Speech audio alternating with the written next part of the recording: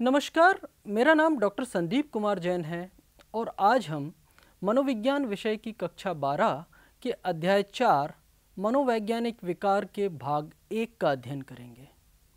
इस भाग में हम अपसामान्यता तथा मनोवैज्ञानिक विकार के संप्रत्यय, मनोवैज्ञानिक विकारों का वर्गीकरण, अपसामान्य व्यवहार के अंतर्निहित कारक और अपसामान्य व्यवहार के मॉडलों का अध्ययन करेंगे।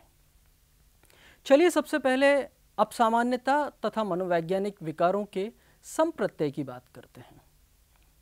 मनोरोग, मनोविकार, मनोवैज्ञानिक विकार, मनोविक्षिप्त, जैसे कई शब्द दैनिक बोलचाल में और वैज्ञानिक साहित्य में प्रचलित हैं। दूसरे तरीके से देखें तो व्यवहार में विचलन के आधार पर असामान्य व्यवहार, अपसामान्य व्यवहार या कुसमायोजित व्यवहार जैसे शब्द, इनका भी प्रचलन बहुतायत में है। तो कौन सा शब्द सही है? और इन शब्दों के अर्थ क्या हैं? क्या होता है मनोवैज्ञानिक विकार? छात्रों, हज़ारों साल से, हज़ारों साल से मनोविकार समूची मानव जाति के लिए कौतूहल का विषय बने हुए हैं। लोग जानना और समझना चाहते हैं कि क्यों कोई व्यक्ति अचानक से जीवन में आशा और अर्थ को खो देता है? क्यों कोई व्यक्ति असामान्य रूप से उन्मादी हो जाता है? क्यों कोई व्यक्ति असामान्य मात्रा में अपने बारे में या दूसरे के बारे में विचित्र सी धारणाएँ बना लेता है? अब सामान्य व्यवहार की व्याख्या के लिए अनेक परिभाषाएँ दी गई हैं। हालाँकि उनमें एकरूपता नहीं है, लेकिन फिर भी इन परिभाषाओं में से कुछ लक्षण हैं जिन पे हम चर्चा करते हैं। पहला है वी सामान्यता, डेवियंस। एक कुछ मानक हैं, कुछ जिसे हम सामान्य कहेंगे, उससे डेवियंस। दूसरा ये हो सकता है कि मुझे या मेरे आसपास के लोगों को मेरा व्यवहार कष्टप्रद हो सकता है डिस्ट्रेस वाला हो सकता है। तीसरा लक्षण ये है कि मेरी अपक्रियात्मकता डिसफंक्शन मैं अपने काम को नहीं कर पा रहा हूँ। दैनिक काम, मेरे अपने खुद के काम, कपड़े पहनने से लेकर अपनी देखभाल करने तक, इन कामों में डिसफंक्शन या अक्रियात्मकता देखी जा सकती है। और एक और लक्षण देखने मिल सकता है कि खतरा। ये व्यक्ति कुछ सभी तरह की मानसिक बीमारियों में, मनोविकारों में तो नहीं, लेकिन कुछ मनोविकारों में ये स्वयं के लिए या दूसरों के लिए खतरा हो सकते हैं, दूसरे व्यक्ति को नुकसान पहुँचा सकते हैं। दरअसल सामान्य और असामान्य में भेद करना आसान नहीं है। एक परिस्थिति में जो व्यवहार सामान्य है, वही व्यवहार दूसरी परिस्थिति में अब सामान्य माना जा सकता है। उदाहरण से समझते हैं। प्रसन्न चित्त रहना, हंसना, हंसाना अच्छी बात है। लेकिन यदि कोई व्यक्ति किसी शोक सभा में हंसने लगे तो? तो निश्चित रूप से आप उसे सामान्य नहीं कह सकते। सामान्य और अपसामान्य के भेद को समझने के लिए कई उपागम प्रस्तुत किए गए हैं। इन उपागमों में दो मुख्य उपागमों की हम बात करेंगे। पहला है सामाजिक मानकों से विचलन और दूसरा है दुर्नुकूलक या कुसमायोजित माल एडप्टिव बिहेवियर पहले सामाजिक मानकों से विचलन की बात करते हैं। प्रत्येक समाज के कुछ मानक होते हैं। मानक समाज के ऐसे कहे या अनकहे नियम हो सकते हैं जो उचित आचरण के लिए होते हैं। जैसे कि बड़ों का आदर करना। या कोई अतिथि आ रहा है तो उसका सत्कार करना। तो ये हमारे सामाजिक मानक हैं। यह उपागम, यह मानता है कि यदि व्यक्ति अपने सामाजिक मानकों का पालन कर रहा है तो वह सामान्य है। और मानकों का उल्लंघन करने वाले को अपसामान्य माना जाता है। मानक समाज की विशिष्ट संस्कृति, इतिहास, मूल्यों, संस्थानों, आदतों, कौशलों, प्रौद्योगिकी और कला से विकसित होते हैं। और इस तरह से अलग अलग अलग समाजों में अलग अलग अलग मानक हो सकते हैं। तो यहाँ ध्यान देने वाली बात है कि व्यक्ति का अपने समाज के मानकों के प्रति अनुरूप व्यवहार सामान्य माना जाता है। यदि आप किसी सुदूर गाँव में, जिसमें पारंपरिक वेशभूषा, पारंपरिक खान पान और पारंपरिक प्रथाओं का पालन नियमों की तरह हो रहा हो, वहाँ आप पाश्चात्य संस्कृति के अनुरूप आचरण प्रारंभ कर देंगे तो गाँव वाले निश्चित रूप से आपको असामान्य घोषित कर सकते हैं। दूसरा उपागम असामान्य व्यवहार को दुर्नुकूलक या कुसमायोजित व्यवहार के रूप में समझता है। ये इसको हम अंग्रेज़ी में मॉल एडप्टिव बिहेवियर भी कहते हैं। यह उपागम सामाजिक मानकों के प्रति स्वीकार भाव की जगह व्यक्ति और उससे संबद्ध समूह के कल्याण के रूप में सामान्य या असामान्य व्यवहार को देखता है। और यह कल्याण सिर्फ़ भरण पोषण तक ही सीमित नहीं होता। इसमें व्यक्ति की संतुष्टि और पूर्ण क्षमताओं के विकास और उनका उपयोग करना भी शामिल है। कोई भी व्यवहार असामान्य या दुर्नुकूलक है, यदि वह व्यक्ति को चाहे गए लक्ष्य तक पहुँचने में बाधा बने। यदि आपके मन में कुछ जिज्ञासा है और आप अपने शिक्षक से संकोच बस प्रश्न नहीं कर रहे हैं आपका यह संकोचपूर्ण व्यवहार, आपका यह संकोच दुर्नुकूलक व्यवहार है माल एडप्टिव है, जो आपके विकास को रोक रहा है।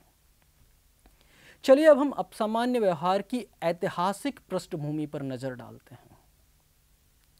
तीन तरह के विचार अपसामान्य व्यवहार की व्याख्या में मुख्य रूप से उपयोग किए गए हैं। अलौकिक शक्तियों का उपागम। इस उपागम में जादुई शक्ति, बुरी आत्मा, शैतान आदि की प्रबलता रही है। और उपचार के लिए भी झाड़ फूंक और प्रार्थना के तरीके को अपनाया गया है। आपने देखा होगा कई समाजों में ओझा या झाड़ फूंक करने वाले व्यक्ति होते हैं, जिनके पास लोग जाकर अपनी मानसिक समस्याओं का निराकरण पाने की कोशिश करते हैं। यह प्राचीन काल से प्रचलित उपागम है और आप देखेंगे आज भी यह उपागम प्रचलित है। दूसरा एक और उपागम है जैविक या आंगिक उपागम। इस विचारधारा में अपसामान्य व्यवहार के लिए दोषपूर्ण जैविक प्रक्रियाओं को कारण माना जाता है और इन प्रक्रियाओं को जैविक विधि से ठीक कर अपसामान्यता का उपचार किया जाता है। एक और उपागम है, तीसरा उपागम, मनोवैज्ञानिक उपागम। इस विचारधारा में मानते हैं कि यदि व्यक्ति के विचार, उसकी भावनाएँ और संसार को देखने का उसका नज़रिया यदि पर्याप्त नहीं है, उसमें अपर्याप्तता है तो उसके कारण उस व्यक्ति को मानसिक समस्याएँ उत्पन्न हो सकती हैं। प्राचीन काल से लेकर आज तक हम इनके ही आधार पर अब सामान्य व्यवहार की व्याख्या करते रहे हैं और आज भी कर रहे हैं। प्राचीन काल में हिप्पोक्रेट्स, सुकरात और प्लेटो ने सर्वांगिक उपागम का विकास किया और माना कि संवेग और तर्क के बीच उत्पन्न द्वंद्व संवेग और तर्क के बीच उत्पन्न द्वंद्व के कारण से बाधित व्यवहार उत्पन्न होता है। भारतीय प्राचीन परंपरा में भी वात, पित्त, कफ के त्रिदोष और सत्व, रजस और तमस त्रिगुण के बारे में चर्चा की गई है। मध्य युग तक आते आते भूत विद्या और अंधविश्वासों ने फिर से महत्व प्राप्त कर लिया। सत्रहवीं और अठारहवीं सदी को तर्क एवं प्रबोधन का काल माना जाता है। इस समय वैज्ञानिक पद्धति का विकास हुआ और मनोविकारों से पीड़ित व्यक्तियों के प्रति दया व सहानुभूति के भाव में बढ़ावा मिला। इस समय सुधार आंदोलन को बल मिला और मनोरोगियों को संस्था विमुक्तिकरण डी इंस्टीट्यूशनलाइजेशन के रास्ते समुदाय में रहने को बढ़ावा दिया गया। इस काल से पहले यह माना जाता था कि मनोविकार वाले व्यक्ति को एक अलग संस्था में, असाइलम में रख दिया जाना चाहिए। इस काल में सुधार के द्वारा उनको संस्थाओं से बाहर निकलने का रास्ता प्रशस्त किया गया। पिछले कुछ वर्षों में अन्योन क्रियात्मक और जैव मनोसामाजिक उपागम बायो साइको सोशल अप्रोच का विकास हुआ है, जिसमें सभी तरह के कारकों को मानसिक विकार की अभिव्यक्ति में महत्वपूर्ण माना गया है। चलिए अब हम बात करते हैं मनोवैज्ञानिक विकारों के वर्गीकरण की। जिस तरह से बहुत सारे तरह की शारीरिक समस्याएँ होती हैं, वैसे ही बहुत सारे तरह की मानसिक समस्याएँ होती हैं। कुछ मानसिक समस्याएँ साधारण होती हैं तो कुछ मानसिक समस्याएँ गंभीर होती हैं। इनका व्यवस्थित अध्ययन और प्रबंधन करने के लिए इन्हें कई बार और कई तरह से वर्गीकृत किया गया है। वर्गीकरण में मनोविकार के लक्षणों की गंभीरता, प्रकार उप प्रकार उनका विवरण, रोग की समयावधि, एक साथ घटित होने वाले विकारों की संभावना, जिसे हम कोमॉर्बिडिटी कहते हैं। इसको हम इस तरह से समझ सकते हैं कि क्या अवसाद के साथ मनोविदिलता भी होगी या फिर बौद्धिक अक्षमता के साथ स्वलीनता या दूसरे तरह की कोई और विकासात्मक विकृति हो सकती है। इसके साथ साथ वर्गीकरण में समान दिखने वाले विकारों में अंतर करने हेतु विवरण भी दिया जाता है, जिसको हम डिफरेंशियल डायग्नोसिस कहते हैं। जब लगभग लगभग एक जैसे दिखने वाले दो विकारों में अंतर करना होता है तो कुछ खास संकेतों के आधार पर हम उनमें अंतर कर पाते हैं। जैसे कि श्रवण बाधित व्यक्ति जो होता है, उसमें भी संप्रेषण की समस्या होती है, और ऑटिज्म, स्वलीन व्यक्ति में भी संप्रेषण की समस्या होती है। लेकिन हम उनके सामाजिक अंतक्रिया के आधार पर उनमें भेद कर सकते हैं। वर्गीकरण में विकार की व्यापकता, विकार के लक्षण, पहली बार कब दिख रहे हैं, किस आयु में दिख रहे हैं, उसके बारे में विवरण होता है। कुछ विकार बाल्यकाल में या वयस्क अवस्था में और कुछ विकार वृद्धावस्था में प्रकट होते हैं, इनके बारे में वर्णन होता है। उदाहरण से समझते हैं, बौद्धिक अक्षमता बाल्यकाल में प्रकट होती है, जबकि डिमेंशिया प्रौढ़ अवस्था के बाद ही प्रकट होता है। जब विशेषज्ञों द्वारा मानसिक बीमारी का उपचार किया जाता है तो इस उपचार में वर्गीकरण दो या दो से अधिक विशेषज्ञों के बीच संप्रेषण में सहयोगी होता है।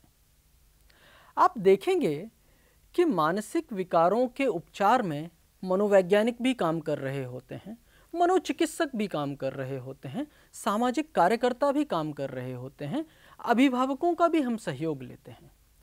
इन विशेषज्ञों के बीच में आपस में संप्रेषण के लिए वर्गीकरण एक सहारे के रूप में हमारे सामने होता है। यह विचार विमर्श में सहयोगी होता है।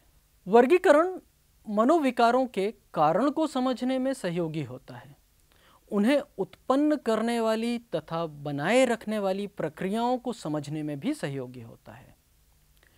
मुख्य रूप से दो वर्गीकरण तंत्र विशेषज्ञों द्वारा उपयोग में लाए जाते हैं। एक है डीएसएम और दूसरा है आईसीडी। सबसे पहले हम बात करते हैं डीएसएम की। DSM diagnostic and statistical manual for mental disorder यह वर्गीकरण अमेरिकी मनोरोग संघ द्वारा प्रतिपादित किया गया है।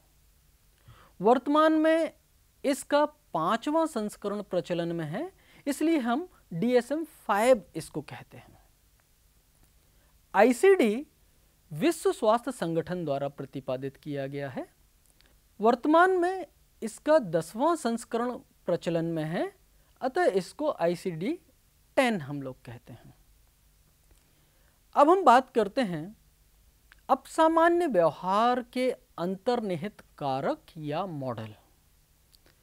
हम कुछ मॉडल जिनकी बात करेंगे, वह है जैविक मॉडल, मनोवैज्ञानिक कारक या मनोवैज्ञानिक मॉडल, सामाजिक सांस्कृतिक मॉडल।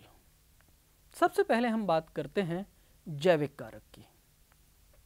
जैविक कारकों में बहुत सारे तरह के भिन्न भिन्न प्रकार के कारण हैं जिनकी हम चर्चा कर सकते हैं। जैसे कि दोषपूर्ण जीन। एक व्यक्ति के जीन में यदि कोई खराबी है तो उसके कारण से कोई मानसिक विकार उत्पन्न हो सकता है। दूसरी बात है कि व्यक्ति का अंतस्त्रावी तंत्र में, उसके अंतस्त्रावी ग्रंथियों से निकलने वाले हार्मोन्स में असंतुलन है। तब भी मानसिक विकार हो सकता है। जैसे कि एक उदाहरण से मैं आपको बताता हूँ। थायराइड ग्लैंड से यदि कम मात्रा में हार्मोन निकलता है तो उसके कारण से बौद्धिक अक्षमता या और दूसरे विकासात्मक विकार उत्पन्न हो सकते हैं। कुपोषण के कारण भी बच्चे के विकास में कमी आ सकती है और किसी न किसी तरह का मानसिक विकार उत्पन्न हो सकता है। किसी तरह की चोट खास तौर से मस्तिष्क को लगी हुई चोट, वह मनोविकार का कारण बन सकती है। तंत्रिका संचारक या न्यूरो के माध्यम से दो तंत्रिका कोशिकाओं के बीच में संप्रेषण होता है। इन न्यूरो की अति सक्रियता या न्यून सक्रियता मनोविकारों का कारण बन सकती है। दुश्चिंता विकार में गामा एमिनोब्यूट्रिक न्यूरोट्रांसमीटर की निम्न क्रियाशीलता देखी गई है। मनोविदिलता विकार में डोपामाइन न्यूरोट्रांसमीटर की अतिरेकता देखी गई है। अवसाद मनोविकार में सीरोटोनिन न्यूरोट्रांसमीटर की निम्न क्रियाशीलता देखी गई है। इसके अतिरिक्त कुछ अनुवांशिक कारक जो कि एक पीढ़ी से दूसरी पीढ़ी में स्थानांतरित हो रहे हैं। साथ ही साथ कुछ गुणसूत्रीय विकार, जैसे कि गुणसूत्र के संरचना या फिर उनकी संख्या में भिन्नता होना, जिसके कारण से मनोवैज्ञानिक विकार उत्पन्न हो सकता है। चलिए अब हम बात करते हैं मनोवैज्ञानिक कारकों की। मनोवैज्ञानिक कारकों में कई तरह के कारक सामने आते हैं। मातृत्व वंचन एक कारक हो सकता है। अभिभावक व बच्चे के बीच दुर्नुकूलक संबंध एक कारक हो सकता है। दुर्नुकूलक पारिवारिक संरचना एक कारक हो सकता है। अत्यधिक दबाव एक कारक हो सकता है। इन सारी बातों को मनोविज्ञान के अंदर कुछ विशिष्ट मॉडल में चर्चा की गई है। उन पे हम अब प्रकाश डालते हैं। सबसे पहले मनोगतिक मॉडल की बात करेंगे। आपको याद होगा, अध्याय दो, आत्म एवं व्यक्तित्व में, मनोगतिक उपागम में चेतन मन और अचेतन मन की बात की गई थी। यह मॉडल मानता है कि हम अपने बारे में बहुत कम जागरूकता रखते हैं, जो कि हमारा चेतन हिस्सा है। हमारे मन का कहीं अधिक बड़ा हिस्सा हमारा अचेतन मन होता है। अचेतन मन में हमारी दमित आकांक्षाएँ, दमित क्रोध, दमित भावनाएँ होती हैं, जिन्हें जाने अनजाने हमने दबाया हुआ होता था। ये दमित सामग्री द्वंद्व उत्पन्न कर मानसिक समस्या का कारण बनती है। इसके साथ ही सिगमंड फ्राइड ने व्यक्तित्व में इड, अहम और पराहम की व्याख्या करते हुए बताया था कि इड आवेगी व्यवहार से संबंधित है। अहम वास्तविकता से और परा अहम नैतिक मानक से संबंधित है। यदि इन तीनों संरचनाओं में संतुलन ना रहे तो मानसिक द्वंद्व उत्पन्न होता है। सोच के देखें कि यदि आपका ज़्यादातर व्यवहार इड से संचालित होता है, अर्थात आवश्यकताओं की तुरंत संतुष्टि। ऐसे में आपको तनाव का सामना करना पड़ सकता है, क्योंकि आपका परिवार या सहकर्मी हर बार आपकी चाहत के अनुसार सामग्री उपलब्ध नहीं करा सकते। संक्षेप में कह सकते हैं कि अपसामान्य व्यवहार मानसिक द्वंद्वों की अभिव्यक्ति है और जिसका संबंध बहुधा बाल्यकाल से हो सकता है। मनोविज्ञान के एक और मॉडल, व्यवहारात्मक मॉडल की हम बात करते हैं। यह मॉडल कहता है, सामान्य और अपसामान्य दोनों ही तरह के व्यवहार सीखे हुए होते हैं। जिस तरह हम सामान्य व्यवहार वातावरणीय पुनर्वलन से सीख लेते हैं, उसी तरह अपसामान्य व्यवहार भी सीखे जाते हैं। अपसामान्य व्यवहार को करने से व्यक्ति को कुछ फ़ायदा होता है या किसी कष्ट से मुक्ति मिल जाती है। और इस तरह से लाभ को अर्जित करने के लिए दोषपूर्ण व्यवहार की आदत बन जाती है। कल्पना करें कि आपका अजीब सा व्यवहार जब बहुत से लोगों का ध्यान आकर्षित करता है तो आपको उससे अच्छा लग सकता है कि लोग आपकी ओर ध्यान दे रहे हैं। इसके कारण से भविष्य में उस अजीब से व्यवहार के घटित होने की संभावना बढ़ जाती है। एक और स्थिति के बारे में सोचें। आपके परिवार में आपको कुछ काम करने की ज़िम्मेदारी दी। आपसे वह काम ठीक से नहीं हुआ। दूसरी बार भी संयोगवश ऐसा ही हुआ। तो संभव है कि भविष्य में परिवार के सदस्य आपको कोई ज़िम्मेदारी वाला काम नहीं देंगे। इससे आपको राहत मिलती है और आगे से दिए गए कामों को जानबूझकर ठीक से नहीं करते और कष्ट से बच जाते हैं। और इस तरह से हम दोषपूर्ण व्यवहार को सीखते रहते हैं। कक्षा 11 में अध्ययन किए गए अधिगम के सिद्धांत, जैसे कि प्राचीन अनुबंधन, क्रिया प्रसूत अनुबंधन, सामाजिक अधिगम, इनके माध्यम से व्यवहार सीखने की व्याख्या की जा सकती है। प्राचीन अनुबंधन में जहाँ दो उद्दीपकों के साथ साथ प्रस्तुत किए जाने से प्राणी उनमें एक संबंध स्थापित कर लेता है। क्रिया प्रसूत अनुबंधन सिद्धांत कहता है कि क्रिया का जैसा परिणाम होता है, वैसी ही उस क्रिया की भविष्य में घटित होने की संभावना होती है। चलिए अब हम बात करते हैं संज्ञानात्मक मॉडल की। संज्ञानात्मक मॉडल हमारे संज्ञानात्मक पक्ष अर्थात अवधान, प्रत्यक्षीकरण, चिंतन आदि में दोषपूर्ण प्रारूप के आधार पर अब सामान्य व्यवहार की व्याख्या करता है। यह मॉडल मानता है कि हमारी अविवेकशील धारणाएँ, अविवेकशील अभिवृत्ति अतार्किक विचार, इनके कारण से अब सामान्य व्यवहार प्रदर्शित होता है।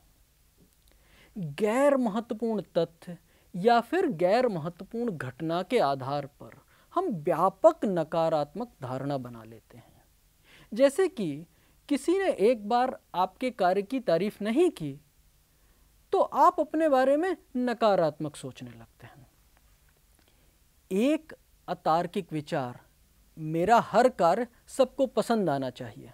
आपकी चिंता का कारण बन सकता है, क्योंकि आप सभी को प्रसन्न नहीं रख सकते।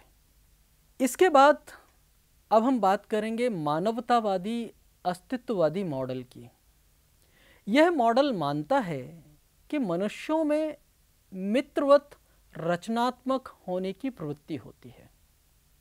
स्व का विकास, इस स्व के विकास हेतु हम सतत प्रयासरत रहते हैं।